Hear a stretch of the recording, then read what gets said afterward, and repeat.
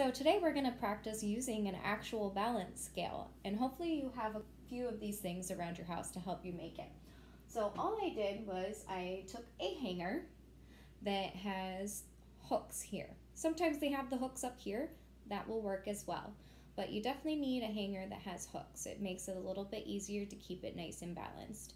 Next up, you're gonna need some plastic cups and some string. Really, that's it. I poked a hole in the sides of the cup, one on each side directly across from each other, and then just tied the string through it and wrapped it around the hook. Did the same thing on the other side and tried to make sure that my string was even on both sides so that it is nice and balanced. And when I hang it, you can hang it on a doorknob somewhere. You can see that the hanger keeps it nice and balanced. They're both empty right now. N neither one is going down or up. And then the next thing to do is just gather some stuff from around your house. So I have little dinosaur figurines. I have small ones and big ones.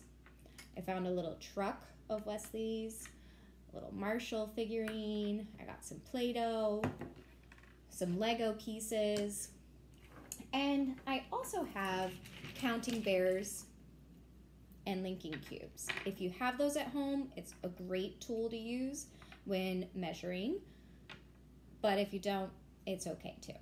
Any of these things will work. For the work that you're doing today, you're actually going to pick whatever you want and you're going to put two things in one thing in each cup. So I'm going to start with my two dinosaurs. I have a little dinosaur and a big dinosaur. My guess is that my big dinosaur is going to weigh more and my little dinosaur is going to weigh less. So let's see if I am right.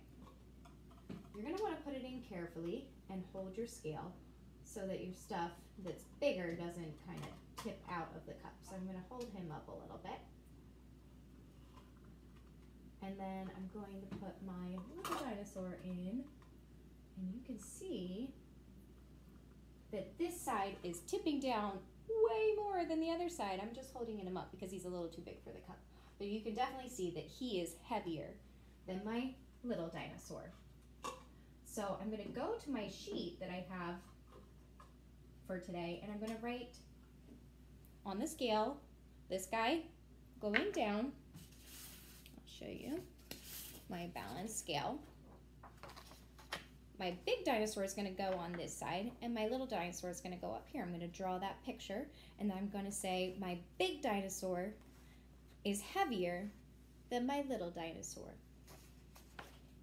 Now, I can try it with something else. I'm going to do one more example for you, something a little bit smaller this time, so that I'm not exactly sure which one is going to be heavier. I'm going to take my Lego man, my construction worker, and my little toy truck. Now I can feel them in my hands and kind of give myself a guess. This one feels a little bit heavier in my hand than the truck does. So let's see when I put them in the cups, which one is heavier. Again, you want to try and hold it still while you put them in so one doesn't completely knock it off. And then you can see it's not as big of a dip as it was last time. So the Lego man is not that much heavier than the truck. He's just a little bit heavier, but he is heavier because you can see it is tilting down towards the Lego man.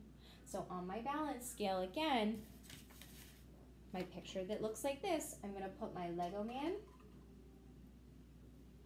on the side that's going down and my little toy truck up here at the top and I'm gonna write my Lego man was heavier than my truck. And that's it. Play around with this different stuff in your house. And if you have more things than what you can fill out on that sheet, keep going, keep playing with it. You could even see how many counting bears does it take for me to equal one of my Lego guys. Put your Lego guy in and then see how many bears does it take till I can even that out again. That's another fun activity to do with this balance scale. So I'm at two bears. I'm to keep going until I reach that kind of flat surface again. That looks about right, don't you think? They look about even. So my Lego man weighs as much as four counting bears. Have fun playing with your balance scale today.